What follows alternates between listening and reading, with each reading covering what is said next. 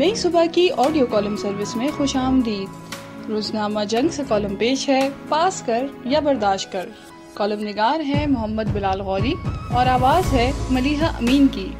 अगर आप नई सुबह की ऑडियो लाइब्रेरी से मुस्तफ़ होना चाहते हैं या हमारे साथ वॉल्टियर करना चाहते हैं तो विज़िट कीजिए हमारी website www.naisubah.org n a i s u b a h o r g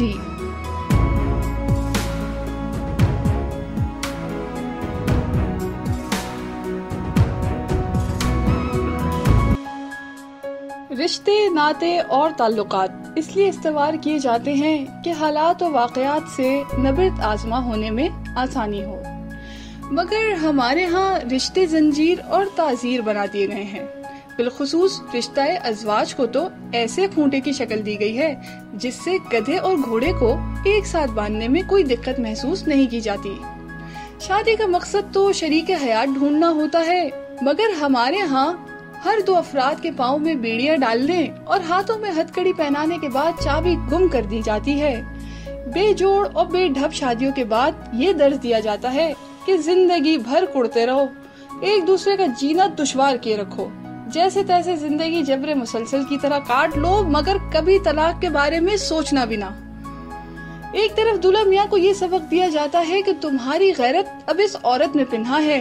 अगर ये निगोड़े किसी गैर मर्द के साथ हंसकर बात करती पाई गई तो तुम किसी को मुँह दिखाने के लायक न रहोगे। दूसरी तरफ़ दुल्हन को बावर करवाया जाता है कि तुम्हारा सुहाग मर्द है और मर्द जात का कोई भरोसा नहीं। इस पर कड़ी नज़र रखना। शोहर की मिसाल उस सरकश घोड़े की सी है जिसकी तनाबे एक बार ढीली छोड़ दी तो सरपट दौड़ता हुआ बहुत दूर निकल जाएगा और फिर कभी हाथ नहीं आएगा। बस फिर क्या, शोहर और बीवी दोनों एक दूसरे को रॉ और आईएसआई समझकर अपने अपने नेटवर्क का जाल बिछाने में मसरूफ हो जाते हैं। दुनिया भर के खुफिया इदारे इनके सामने क्या बेचते हैं? 007 के नाम से मशहूर जेम्स बॉन्ड तो इनसे जासूसी के हरफे अबजद सीखता फिरता है। मौका देखकर एक दूसरे का मोबाइल फ़ोन चेक करना, सोशल मीडिया अकाउंट्स के पासवर्ड मालूम करने के बाद इनबॉक्स की तलाशी लेना व्हाट्सएप पर ताक झाँक करते रहना ताकि पता चले हम सफ़र आखिरी बार और कितनी देर के लिए ऑनलाइन था। किस लाइन पर कितनी देर नंबर मसरूफ रहा? काम वाली से बात करने का अंदाज कैसा है?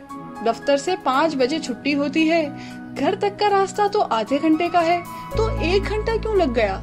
शोहर के दोस्त रशीद अहमद के नंबर से रात गए मिसियो का मैसेज क्यों आया? अरशद प्लम्बर बार बार फ़ोन क्यों करता है? घर से निकलते वक्त मिजाज खुशगवार क्यों था? आज ढूंढ कर सबसे अच्छा सूट जेब तन किया, परफ्यूम भी लगाया, आखिर दाल में कुछ काला है। दोस्तों के साथ इतना वक्त बसर करने की क्या वजह है? काम का बहाना करके रात को देर से घर क्यों आए?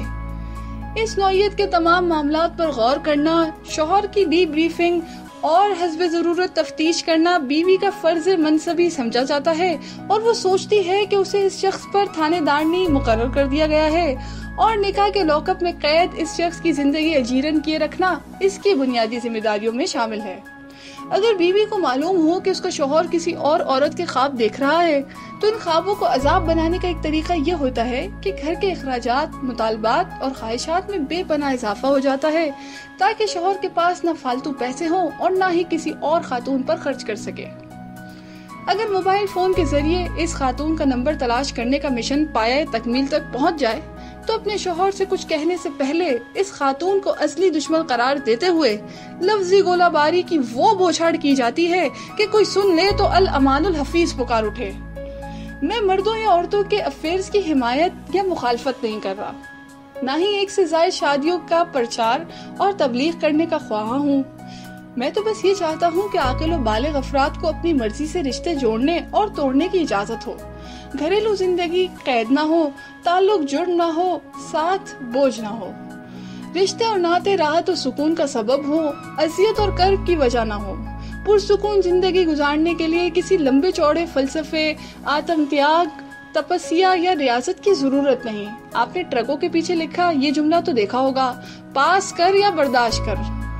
अगर आपका जीना दुश्वार हो चुका है, अगर आपको अपने शरीक हयात की अदाएँ, मिजाज, अंदाज या अतवार इस हद तक नापसंद हैं कि आप गुस्से से पेच और ताप खाते रहते हैं और अंदर ही अंदर इस गम में घुले जा रहे हैं?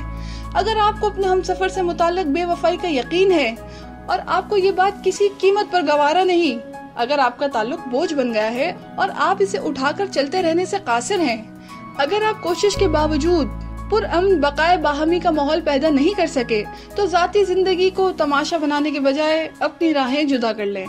अगर वो शख्स नागजीर है तो फिर हालात से समझौता कर लें।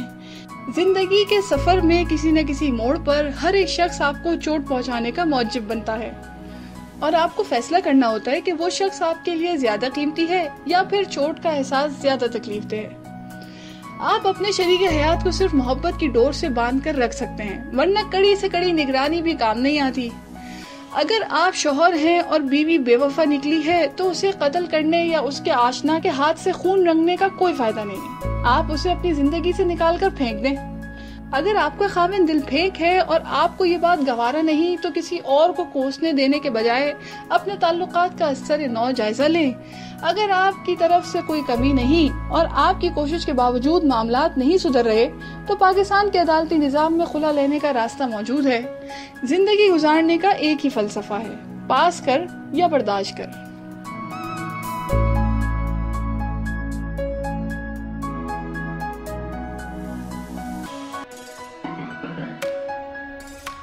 ये मालूमती मवाद नई सुबह की जानब से पेश किया गया। अपनी आरा के इजहार के लिए कमेंट कीजिए या डिस्क्रिप्शन में दिए गए रबते के ज़राए इस्तेमाल कीजिए।